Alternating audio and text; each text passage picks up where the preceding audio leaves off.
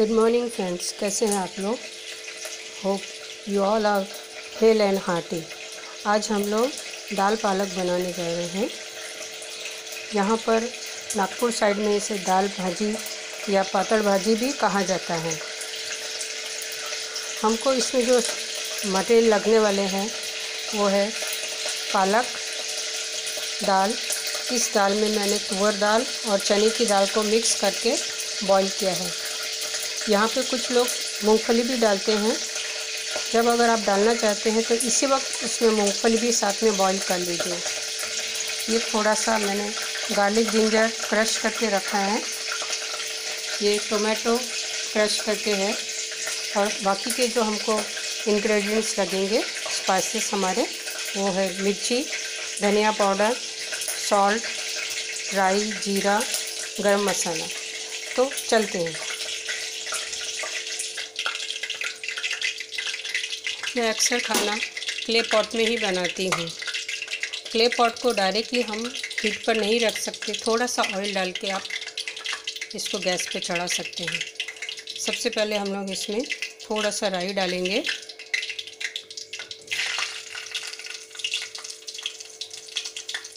राई थोड़ी क्रैक हो जाए, उसके बाद थोड़ा सा जीरा डालते हैं।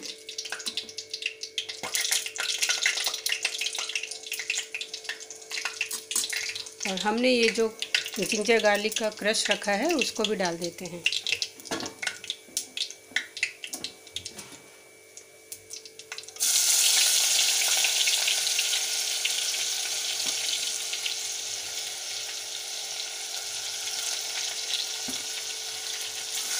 थोड़ा चला लेते हैं।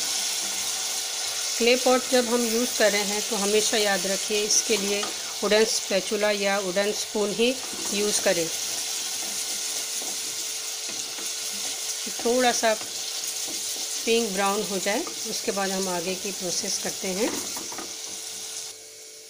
अब हमारा जिंजर गार्लिक थोड़ा सा ब्राउन दिख रहा है। चलिए अब इसमें हम मसाले ऐड कर देते हैं। थोड़ी सी हल्दी डालेंगे, क्योंकि हमने दाल में भी हल्दी डाली है। मिर्ची आप अपने हिसाब से डाल सकते हैं, आप जितना तीखा खाते हैं। धनिया पाउडर। सॉल्ट आप अपने हिसाब से डाल सकते हैं आपके टेस्ट के अनुसार। और ये थोड़ा सा गरम मसाला ऐड करते हैं हम। इसको थोड़ा सा दो मिनट भून लेंगे।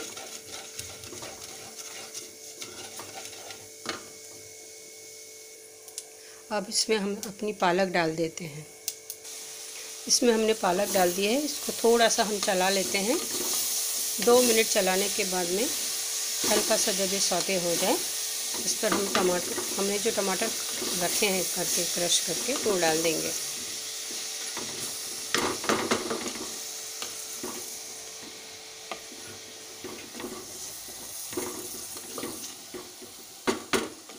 जब आप क्ले पॉट में खाना बनाते हैं, बहुत ही दिल को अच्छा लगता है।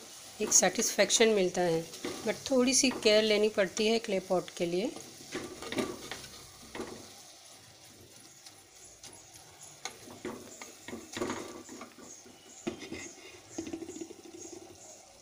इसको हम दो मिनट ढाँक देते हैं।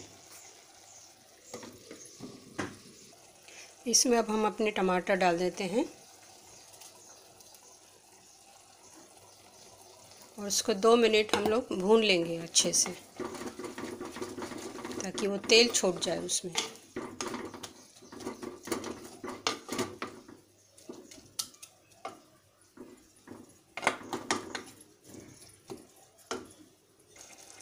हमारी पालक अब काफ़ी अच्छे से पक चुकी है। अब इसमें हम अपना दाल डाल देते हैं।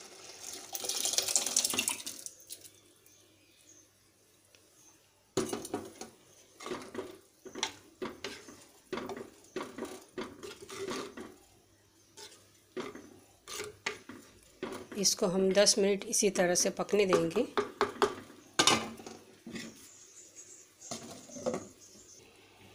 दस मिनट हो चुके हैं, हमारी दाल बहुत अच्छे से पक चुकी है, देख लीजिए आप। आप इसे दाल, पराठा, रोटी के साथ खा सकते हैं। थैंक यू फ्रेंड्स मिलते हैं अगली रेसिपी में। बाय